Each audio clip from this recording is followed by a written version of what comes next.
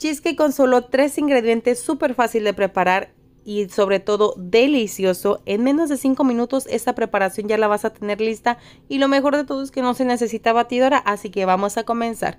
Necesitas dos barras de queso Filadelfia a temperatura ambiente. Es muy importante que sea a temperatura ambiente para que sea fácil de integrar, ¿ok?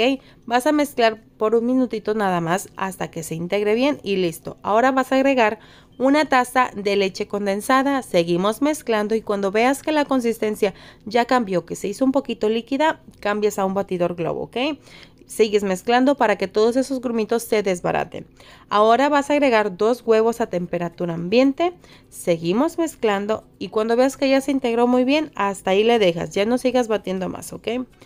Ahora te vas a agarrar un platito de estos de galleta que ya vienen listos porque aquí nos vamos a evitar eso de andar triturando galleta, derritiendo mantequilla. No, hombre, agárrate uno de estos y súper práctico.